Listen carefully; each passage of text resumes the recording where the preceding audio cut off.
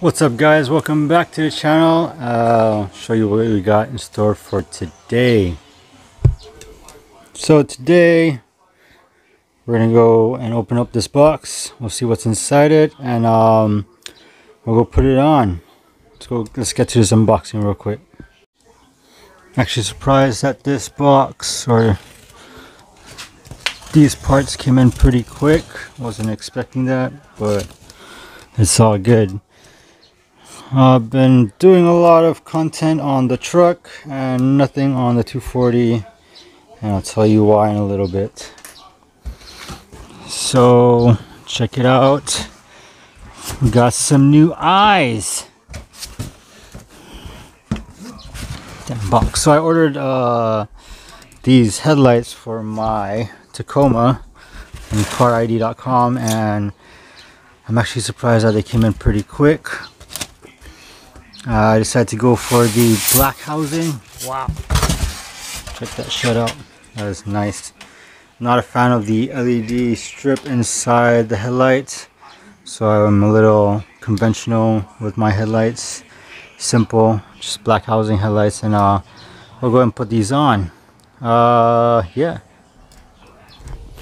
So before we get to work, we're gonna go put up the Easy Up on the front end or up above the front end of the Tacoma because it's freaking hot. It's been hot lately and uh, we're gonna set that up real quick. Alright, so I got the pop-up all by myself above the front end of the Tacoma.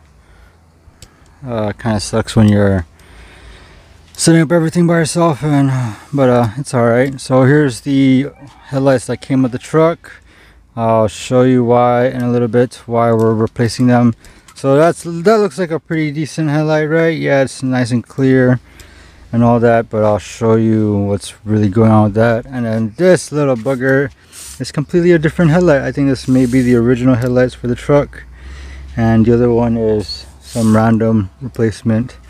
But we're gonna place change these out. And I know there's a couple videos already online on how to do it so we'll just do time lapses of it. And um, yeah we'll get to work. All right heads open and I'll show you why. So as you can see here right here the the nice looking headlight uh, the tab is broken. Crap I'm gonna need a bolt for that but um tab's broken there so it's really not being held with anything um, yeah, it's basically the reason why I'm going to change the headlights. But uh, it's probably going to be the last mod on the truck because um, holy crap, I've been neglecting my drift car for months on end. And I keep buying parts for the truck. So this will be the last mod. And a little word of advice, if you can't, you don't have the time and the budget to have multiple builds and you have a daily driver, I suggest you keep your daily driver a daily driver because even though I've transformed this truck and I'm really proud of what I did, I'm a little bit sad that I've neglected the 240. So uh, we'll get to work. Alright, grab some tools. A couple tools you're gonna need for this job is 10 millimeter socket, got my 3/8 drive ratchet, an extension, my pry bar tool that I'm gonna use for the clips, um, if you don't have a pry bar tool, you can use a flathead and maybe a set of long nose pliers that'll help pull it out. Um, and I also got my little impact drill, impact driver, because I'll make this quick. It's hot as hell. Let's get it. So first off, we're gonna move the grill. There's two clips and then two size 10s and then it just pops right up. Alright, that was a little, little too fast, but the grill's out. Next up is we're to take out these little uh, valences under the headlight. It's held on by a clip and then it just pops right out. Fortunately, this headlight with the crack bracket doesn't have a clip because there's no mounting tab for it.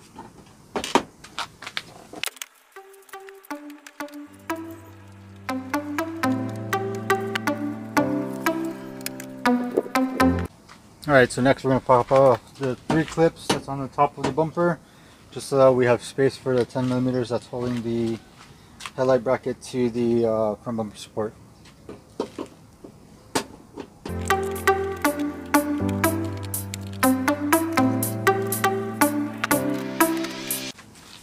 Alright, so I just found out that this headlight's only held by one bolt. That's how fucked up it is. It looks nice, but it's fucked up. Check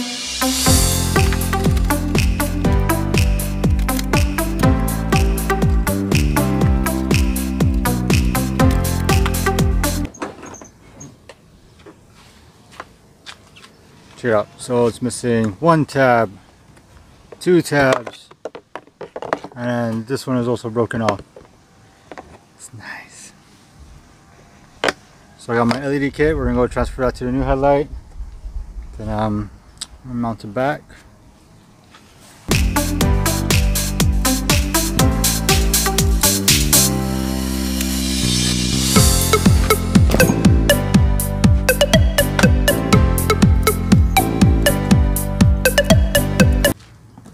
Apologize for that. I was trying to figure out where the one bolt that is supposedly hard to get to that's inside the bumper, where the old one's at, because um, you don't know where it's supposed to mount to. So finally found it. Woo!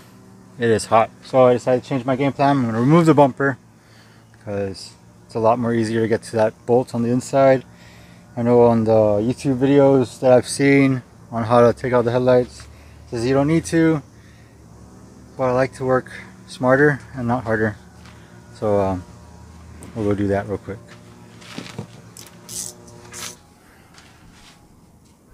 Alright, front bumper's out.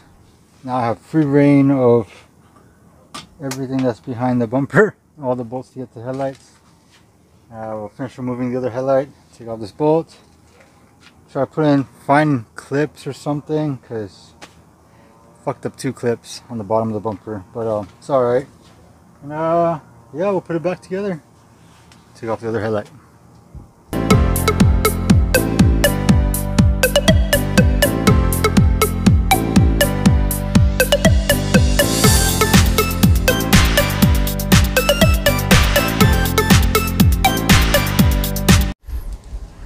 Alright, so I got the new headlights on. I left the plastic on just to protect it from when I reassembled the entire front end.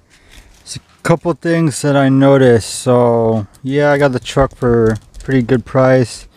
And um, I understood that there was some damage to the passenger side. But due to the damage or the accident, whatever happened, I can't really reach. If I really pull that, it's just going to break that tab had a hard time mounting that point here and also this point here. So it's not a perfect front end but it works. It's holding with just three bolts. The passenger side it was a lot easier to put on.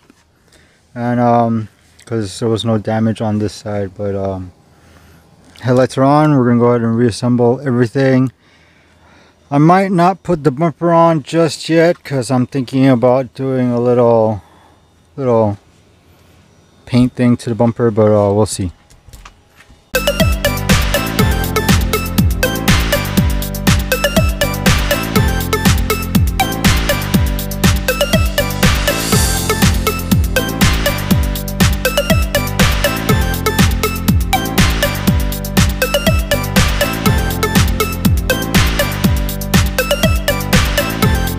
Alright, so unfortunately I did not have, any masking tape, so I couldn't do what I wanted to do to the bumper, but it's alright, so I put everything back and um, that's it, looks good. Um, like this video, let me know if you like this kind of content in my channel, on the comments below, subscribe, that would help a lot, and uh, yeah, we'll see you next video.